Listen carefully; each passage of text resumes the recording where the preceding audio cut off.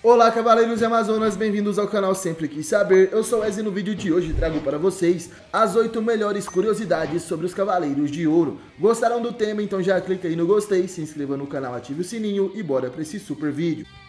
Sempre quis saber! Curiosidade número 1, mude e habilidade de teleporte. Bom galera, essa técnica existe no universo de Cavaleiros do Zodíaco, porém não é vista com tanta frequência quanto em Dragon Ball, por exemplo, sendo longe ainda de estar ao alcance de qualquer Cavaleiro de Atena. O único verdadeiramente capaz de desafiar o tempo e espaço desta maneira é Mude Ares. Ele consegue mover a si mesmo, além de objetos e outras pessoas como visto na luta contra os três renegados. É claro que Mu não possui habilidade de teleportar dentro das 12 casas, já que a barreira de Atena protege o santuário bloqueando teleportes. E por isso, nessa luta contra Saga, Camus e Shura, Mu se teleporta dentro de sua própria casa zodiacal.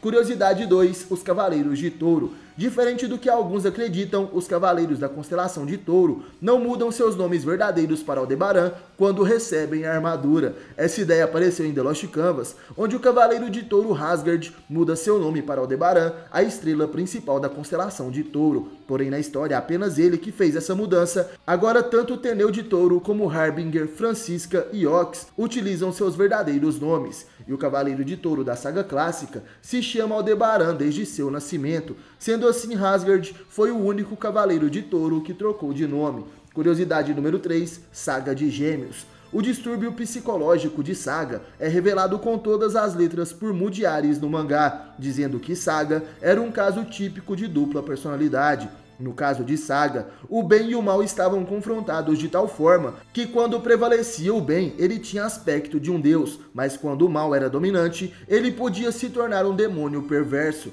Porém, hoje em dia sabemos que Mu estava errado. Saga não tinha dupla personalidade, mas sim dividia seu corpo com um outro espírito, o espírito maligno Lemuri, criado pela deusa Ker, a irmã de Thanatos e Hypnos. E Saga foi possuído por esse espírito quando ainda era bebê e acabava mudando de lugar com Lemuri no decorrer de sua vida.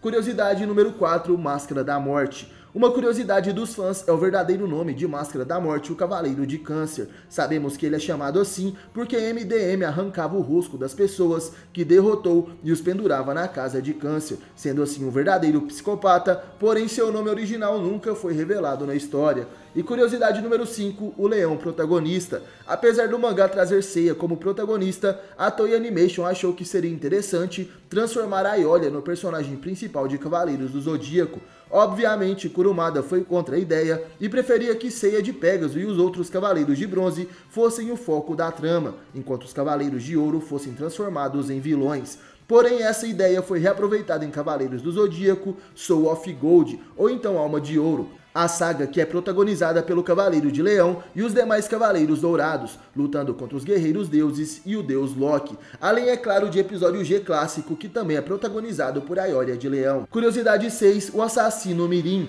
Se já é esquisito pensar que os Cavaleiros de Bronze foram escalados para lutar ainda na adolescência, veja essa situação. Quando Aiolos de Sagitário foi acusado de traição, Shura foi correndo atrás dele para não deixá-lo fugir do santuário. O Cavaleiro Shura de Capricórnio tinha entre 10 e 11 anos, e como sabemos, ele foi o principal responsável pela morte de Ayuro de Sagitário, que na época tinha 14 anos. Curiosidade 7, o 13º Cavaleiro de Ouro. Muita gente ainda não acredita e acha que é filler ou simplesmente não sabe mesmo, mas o 13º Cavaleiro de Ouro realmente existe na história canônica. Apesar de em teoria existirem apenas 12 casas zodiacais, em um passado distante a casa de Serpentário era ativa e tinha seu cavaleiro chamado Asclépio, que inclusive possuía um poder acima dos demais, considerado como um cavaleiro lendário. No entanto, a sede por poder tomou sua mente e ele foi deposto e selado pelos deuses reencarnando assim no século XVIII pelo corpo do cavaleiro Odisseus de Ofilco.